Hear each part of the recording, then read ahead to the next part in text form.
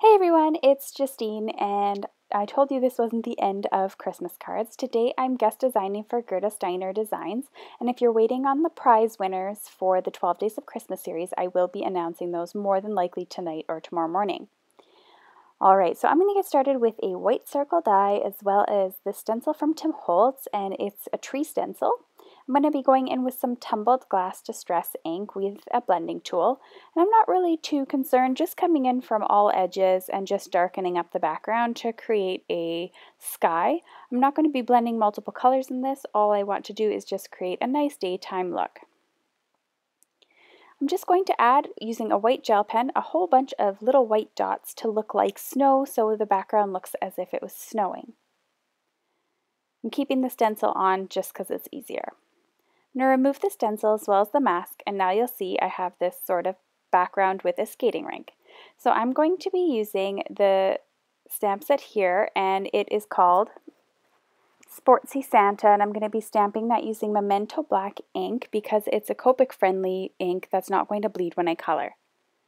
So I'm going to be coloring both the hat and the Santa and then I'm going to be cutting these out using my scissors. So you can see the colors that I'm using there on the side. I always go light, medium, dark, then back to medium and back to light. And I try to think of where the sun is going to be hitting him or where the natural light is going to be hitting him, which in this card would be from the top left. So I'm adding all of my shadows as to where shadows would normally hit. What's really important when Copic coloring is to not use the black marker when Copic coloring because it's a very overwhelming black. So you need to be coloring using some shades of gray instead. If you use black, it's going to wipe out all your lines and your stamp isn't going to be detailed and it never really looks all that nice. So it's important to just invest in a nice gray marker. They have several different tones based on what you want to be doing. I also added some very the lightest shade of gray to his beard and mustache because in reality white would have shadows on it as well. Lastly, I'm just coloring in the hat and just getting everything ready and I'm going to be cutting them out and then simply assembling my card. So I'm going to grab a card base, that's an A2 card base that I'm going to make a top folding card. It measures 11 by 4 and a quarter inches and I fold it in half at 5 and a half on the long side. Then I'm simply going to assemble everything together. So I'm going to add my little circle background here as well as the Santa and I am going to be having his hat look like it's flying off as, because he's skating so fast. I think that's going to be really cute. And then I'm going to simply manipulate my sentiment so that it becomes a circle and I can stamp the happy holidays. The really cool thing about acrylic stamps or clear stamps is the fact that you can actually bend them and then attach them to your block and usually they stay put quite well so you can make a straight sentiment all of a sudden become a curvy sentiment like the one I showed here. Sometimes you have to use the circle to help you with your shaping.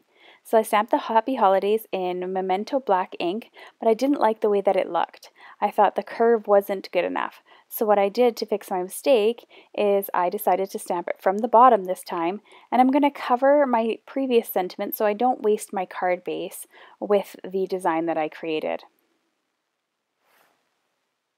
I'm going to be using some liquid glue to glue everything down. It just allows me a couple of seconds of playtime in case I need to adjust anything, unlike foam tape or using tape runner, which makes everything quite permanent very quickly.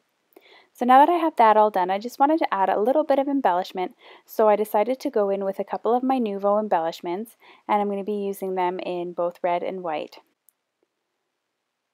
So what's really important is to just hold the bottle upside down for a couple of seconds to make sure that there's no air that's going to be in there so that all of your liquid is up at the top of the tube and that way you'll avoid getting any air bubbles blowing out and then blasting the color all over your work surface which has happened to me a couple of times in the past. So if you're a little bit nervous about doing this directly on your card you could also do them on a piece of acetate and then wait for them to dry and glue them down with some glue dots but I'm far too impatient for things like that but although I think I would have saved a card or two in the past if I had done it that way. Thank you so much for watching. All the supplies used are listed in the video description below as well as on my blog and I'll be guest designing over at Gerda Steiner today if you want to check that out. Thanks for watching.